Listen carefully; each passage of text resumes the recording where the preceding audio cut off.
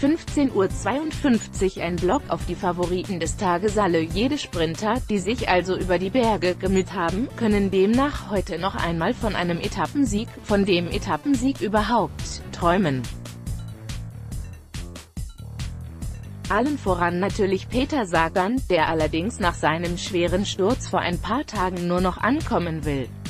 Punkt. Da Dylan Grönewegen, Marcel Kittel oder auch Fernando Gaviria es nicht durch Pyrenäen und Alpen geschafft haben, dürfte heute auch der deutsche John Degenkolb vom Team Sunweb zu den heißen Kandidaten gehören.